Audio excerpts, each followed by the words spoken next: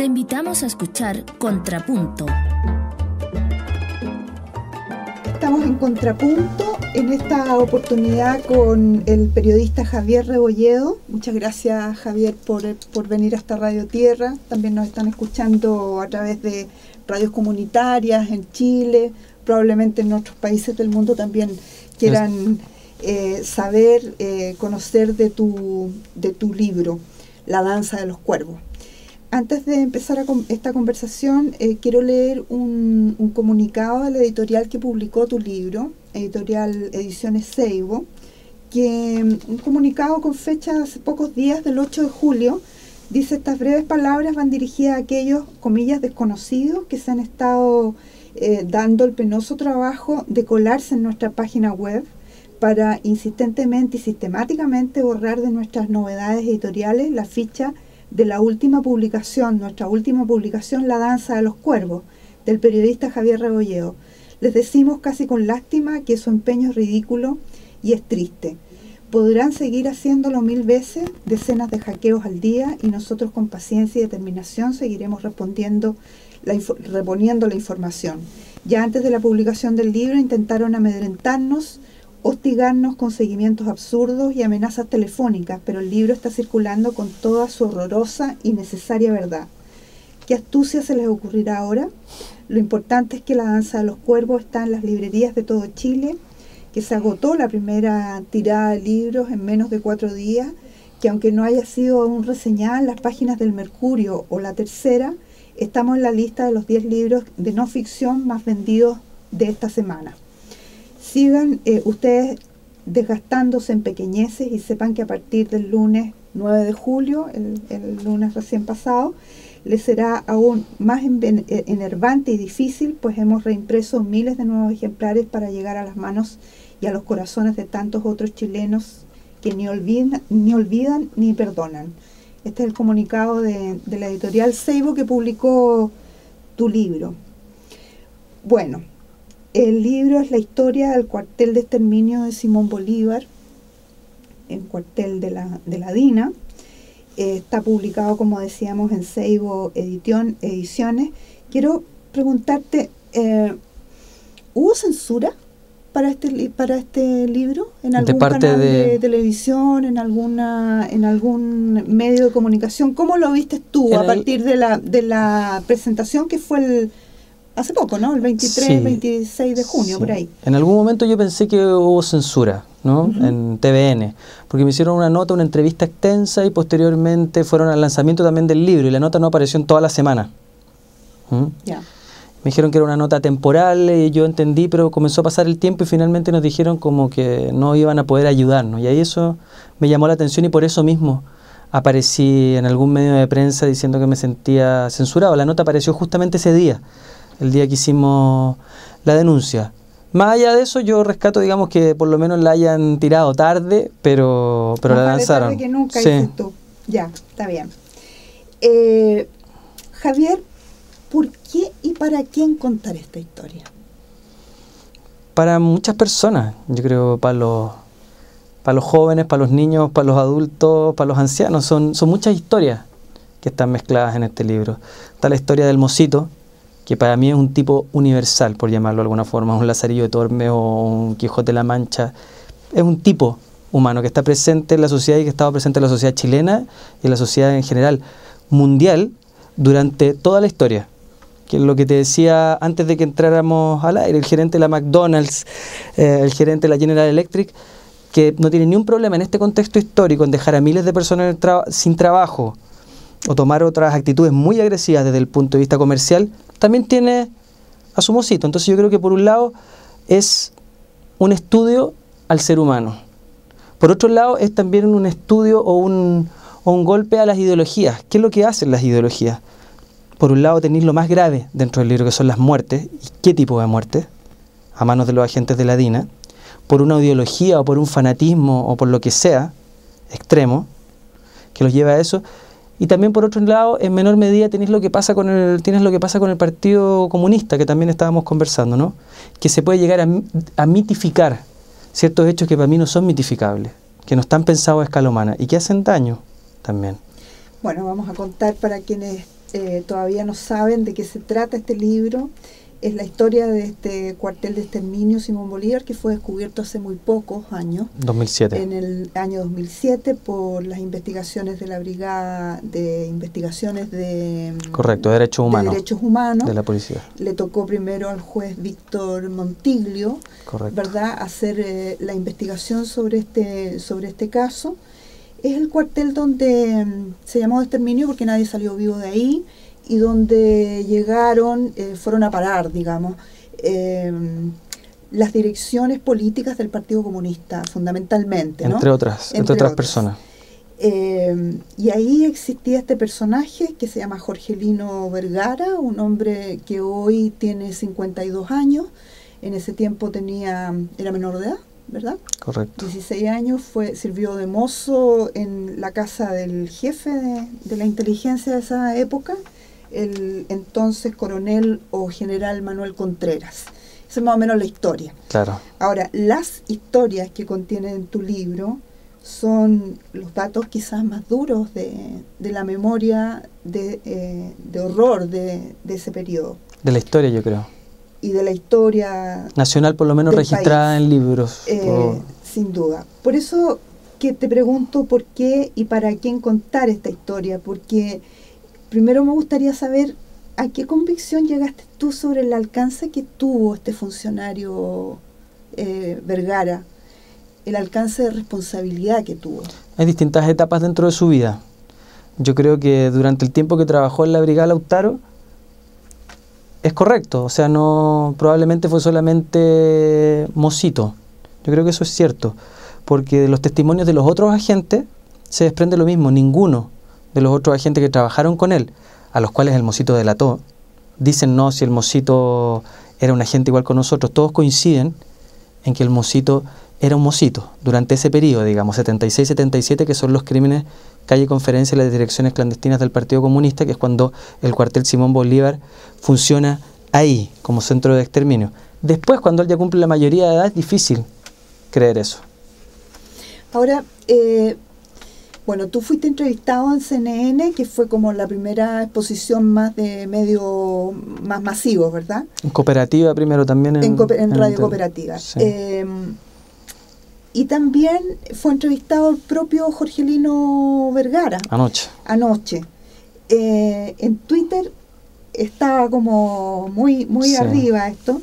Y entre los, que, entre los mensajes que me llamó la atención fue uno de Carmen Hertz, que dice, Jorgelino Vergara, eh, no es cierto que él no haya tenido responsabilidad en las torturas y en, y en, los, en, en las vejaciones y violaciones a los derechos humanos que, tuvo, que tuvieron lugar en Simón Bolívar. Por eso te pregunto a qué convicción Es que lo que pasa es que él es menor de edad en ese periodo y él dice que menor de edad, 16 años. 16 años Ah, y había llegado a los 14 años a la casa de Manuel, Con- de. Manuel Contreras y era huérfano antes y vivía en el campo en situación de extrema pobreza.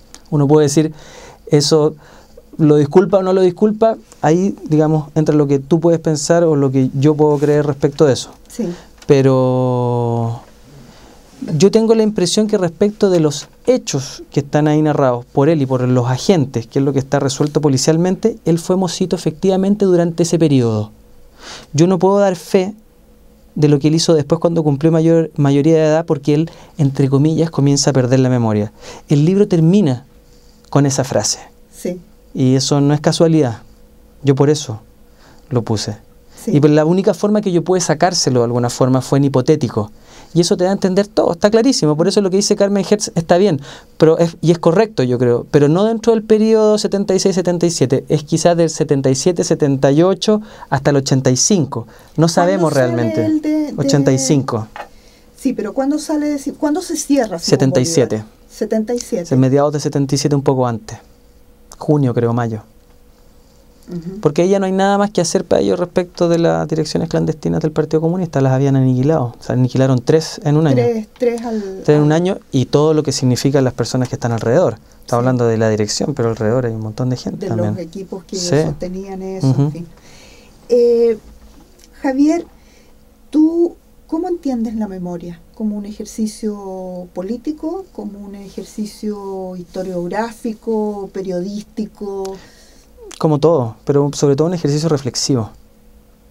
eh, pensante, pensante, fuera de las ideologías.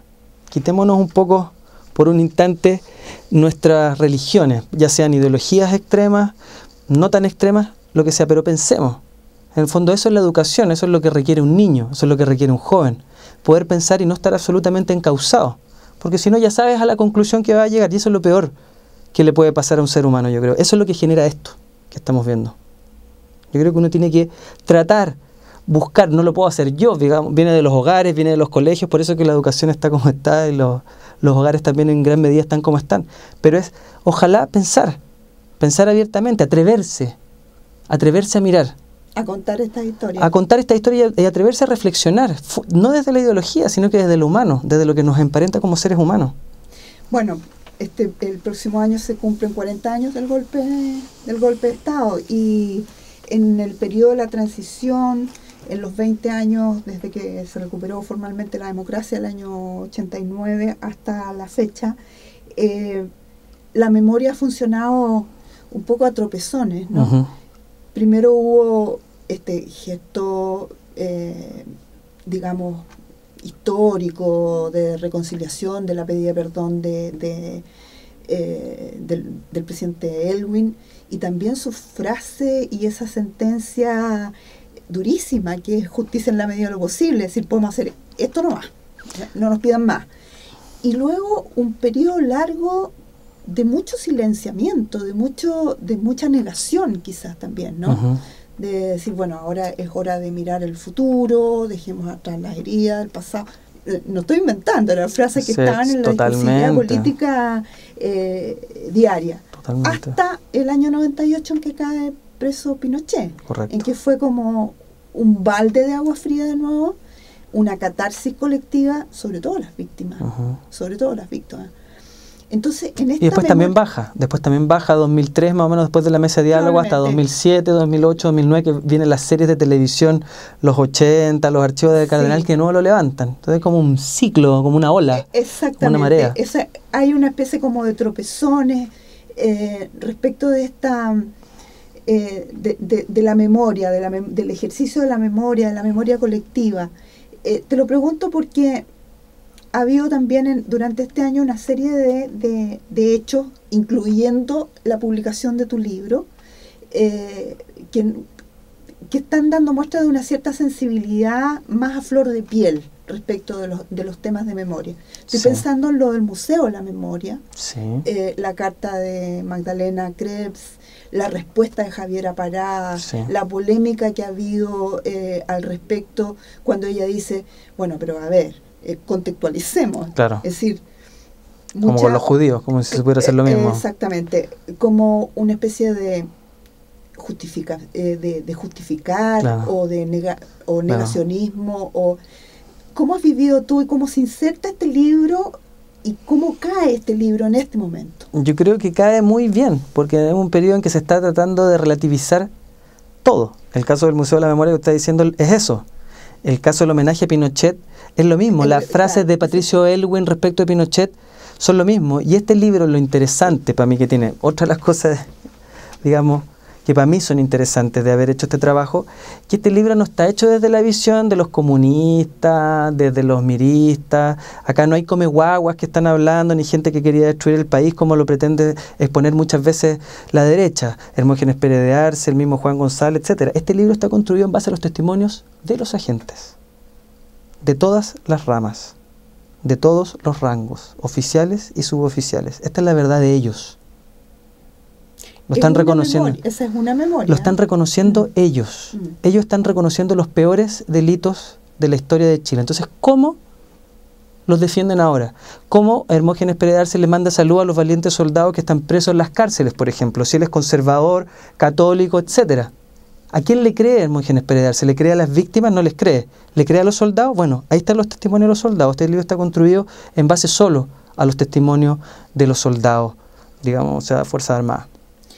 En tu opinión, eh, tomando el pulso subjetivo, humano de, la sociedad chilena y cómo, y cómo se ha enfrentado a esta verdad que tú la cuentas aquí sin anestesia, con una dureza eh, tremenda, eh, en palabras, digamos, de, de, una persona que presenció esos hechos, ¿no? Cosas terribles, como que le molían los huesos a Fernando Ortiz, que, mm, en, fin, la, las torturas con, la, con, el teléfono este que le da más o menos electricidad, eh, el goteo de sangre para, para que ellos eh, pensaran que se estaban desangrando y tantas otras cosas que, eh, que uno dice, bueno, ¿cuál es el límite aquí de, de, la ferocidad? lo que te pregunto es, ¿qué políticas de memoria tener? Porque, porque también en algún momento la sociedad eh, tiene que pararse al frente de ese horror y decir, bueno, ¿qué hago con esto? O sea, esto salió de aquí. Y, y, el personaje este que tú, que es como un, clásico, eh, refleja un tipo hasta hasta medio bonachón de repente, es decir, hasta, hasta como como, como común y corriente, a eso me refiero. Es que así son las cosas, como lo mostraba Tomás Muchetti un poco en la entrevista, esto tenía tiempos, ¿no? Tiempos de oficina. La gente obedecía. La burocracia. Exacto, Jorge Lino obedecía. Entonces, hay una parte del ser humano que es muy obediente, que yo creo que esa es la parte con la que uno tiene que luchar. Esa es la parte no pensante del ser humano, esa es la parte que acepta las ideologías, que acepta todo sin oponer resistencia. Yo creo que uno como ser humano tiene que poner resistencia a todo lo que se te viene, a todos los estímulos en general, que vienen de afuera y que no identificas como propio. Uno tiene una conciencia, yo creo, interior, clara de cómo son las cosas. Y para eso puede servir esto, para eso puede servir la memoria, para eso puede servir la historia. ¿Qué papel juegan los medios de comunicación en, en este ejercicio de memoria? O sea, tuvo claro que en un tiempo fue el silencio. Sí. Yo no sé, muchas veces, muchas veces los medios de comunicación han querido cerrar este tema. Tú lo cuentas ahí, que muchos de tus propios colegas o editores te decían, oye, pero ya... Y uno lo entiende, uno lo entiende y hasta se lo cree, porque en realidad ellos, los periodistas, muchas veces no tenemos la visión histórica de las cosas, estamos en el presente, estamos eh, reporteando historias, contando historias. Entonces, a veces perdemos un poco la perspectiva de qué es lo importante y qué, lo que no es importante, qué es lo que no es sustancial.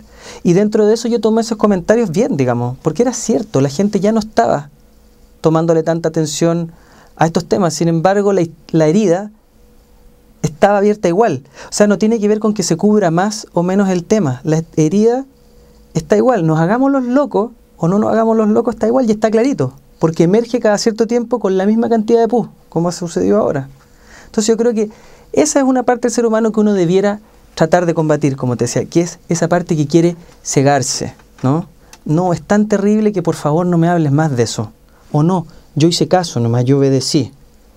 Ahora, eh, cuando uno lee, digamos, eh, no sé, a teóricos o a, personas que han, sido víctimas, el propio Primo Levi, digamos, que, fue víctima eh, y que escribe esta maravillosa reflexión sobre la memoria, eh, uno piensa, bueno, ¿cuántos, ¿cuántos años tienen que pasar como para tener una distancia eh, relativa para ponderar hechos de esta, de esta magnitud, ponderarlos y decir, bueno, este es el país, esta es la sociedad. Mm. ¿De qué me hago cargo ahora que han pasado 40 años o que vamos a cumplir 40 años desde el golpe de Estado? De qué parte de esa memoria nos toca hacernos cargo, de la humanidad, de derribar este, esta, este relato heroico, sobre todo de, la izquierda. ¿De qué crees? De todo, yo creo de todo, de todo, de por qué pasó, por ejemplo, qué calidades de sociedad tenemos, qué calidad de educación tenemos, qué nos están enseñando, qué es lo que estamos aprendiendo para llegar a este punto, de gente que dice que obedeció, simplemente. ¿Dónde cabe eso? ¿Qué significa eso? ¿Cómo aquilato eso? Obedeció. Obedeció, obedeció, obedeció. y terminaste.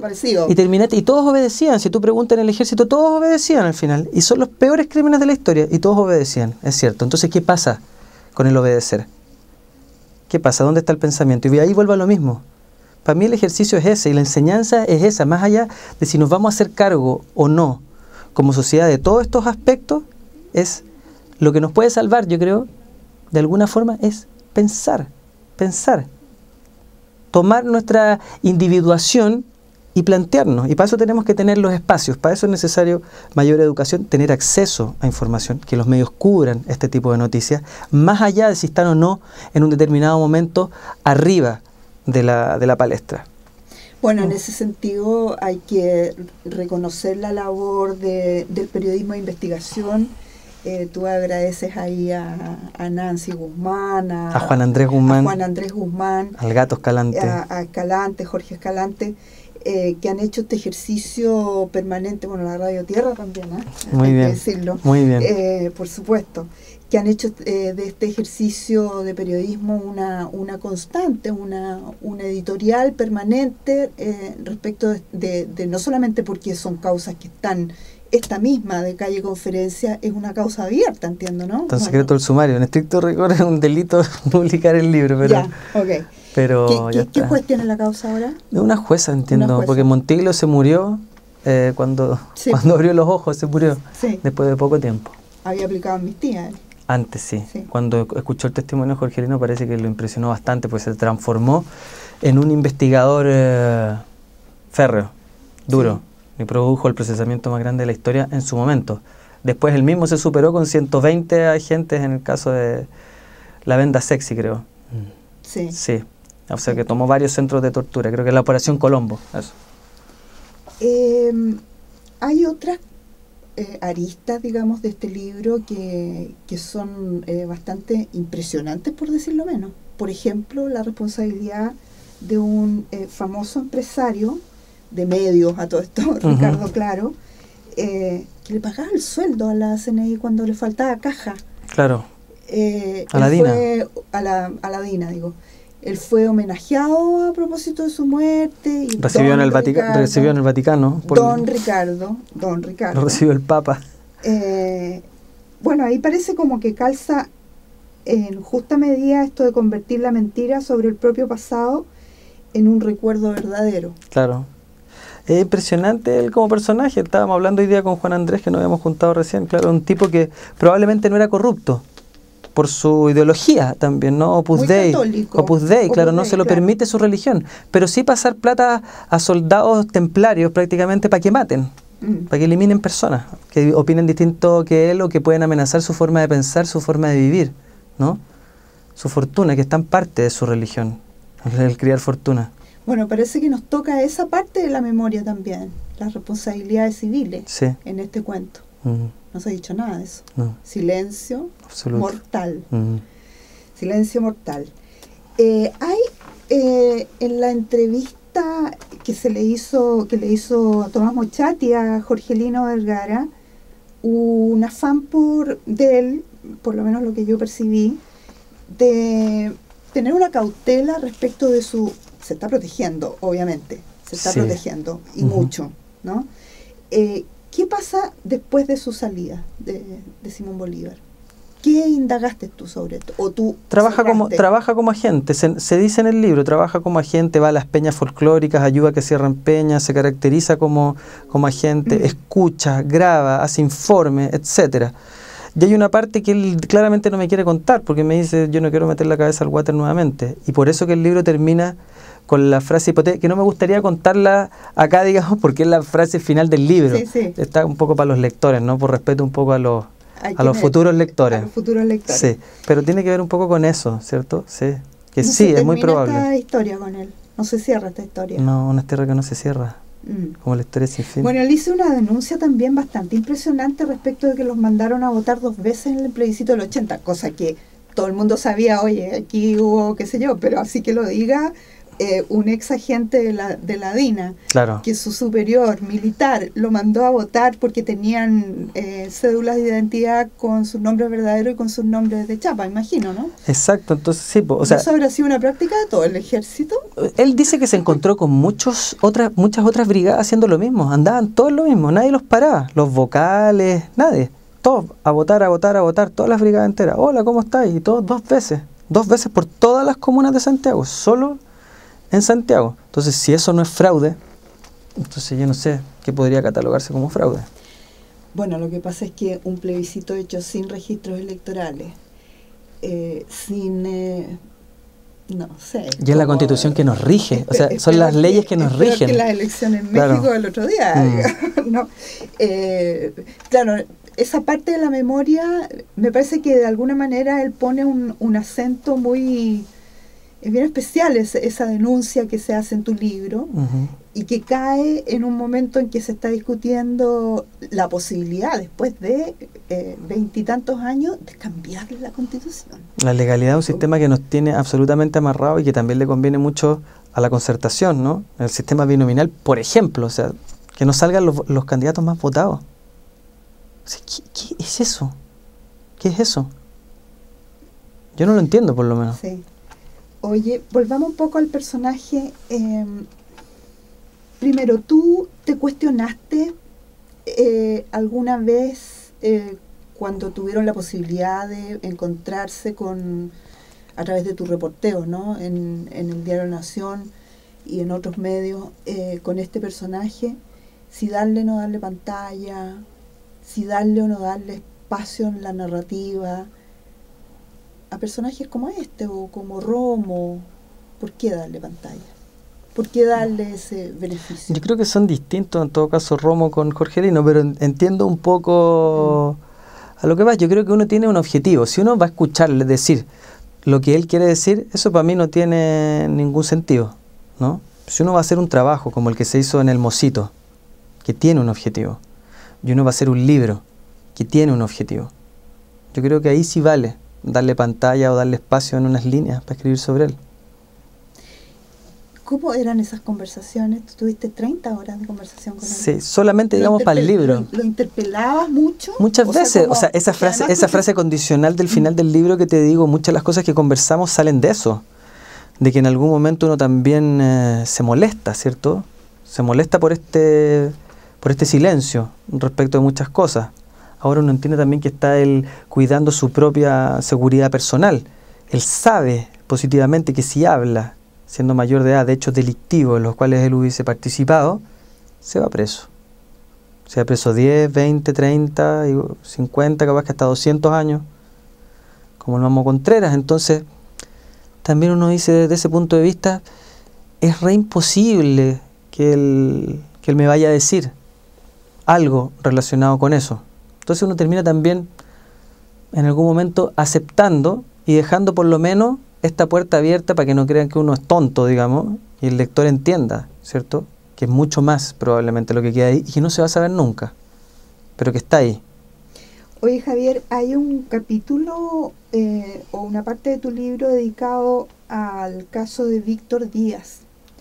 Eh, Víctor Díaz López, que era el, en ese momento el, número uno eh, del Partido Comunista, eh, subsecretario general, y bueno, el padre de Viviana Díaz, que fue presidenta de la agrupación de, detenidos desaparecidos.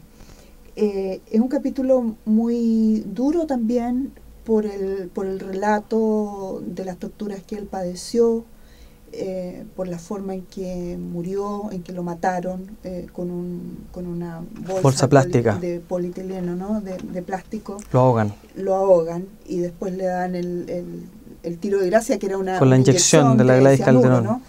Que la, lo hacía normalmente con todos los detenidos. Eso y el sopleteo también de las caras, ¿cierto? Para, para indiferenciarlos. para quitarles los rasgos más eh, que lo pudieran identificar. Además de que le sacaban los dientes, las tapaduras de oro.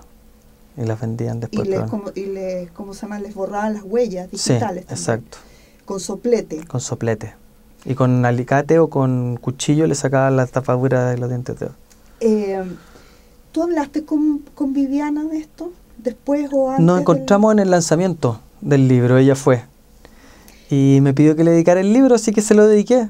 Tuvo muy bonito el lanzamiento en general, fue mucha gente del Partido Comunista. Este tema fue tratado de verdad con bastante cariño de mi parte. O sea, sin duda. Sí, está el, muy delicadamente, el libro está escrito desde el cariño en general. Yo podría haber eh, rajado a Jorgelino, lo tengo clarísimo. Quizás también podría haber rajado en algún aspecto al Partido Comunista por, o, a, algunos miembros, digamos, por este tipo de política, pero no es, no es mi objetivo, sino que es lo que te decía, pensar, mirarnos. Bueno, pero eh, en este en este acápite dedicado a Víctor Díaz, eh, se cuenta cómo... Que ha cómo sí. establecido, aparte de, digamos, de la descripción de la tortura y la forma en que, en que fue asesinado, que él habría entregado antecedentes, digamos, respecto, o habría hablado producto Claro. de la tortura directamente, que muy probablemente no haya sido el único caso. Lo, lo más probable es que no, ¿no? Probablemente es que todos o muchísimos. Porque así se explica la cadena de delaciones para que hayan sido Si no, habrían detener. si no, ¿no? no Si no lo habrían podido detener. Dos y tres direcciones políticas del Claro. Partido Comunista.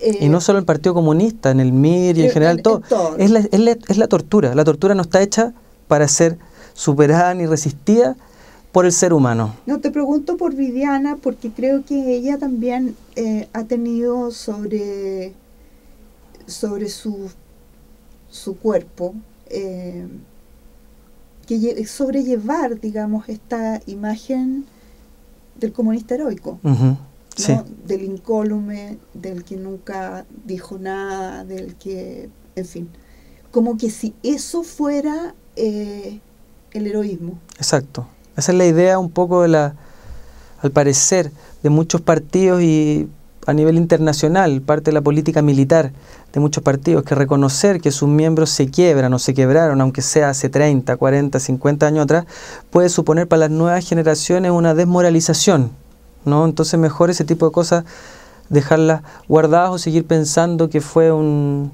digamos, un héroe en esos términos. ¿Tú crees que eso se ha resquebrajado un poco, que hay como una resignificación eh, después de 40 años? Yo creo que sí. Yo creo que sí. Yo creo que sí. No total, pero creo que sí. Creo que sí.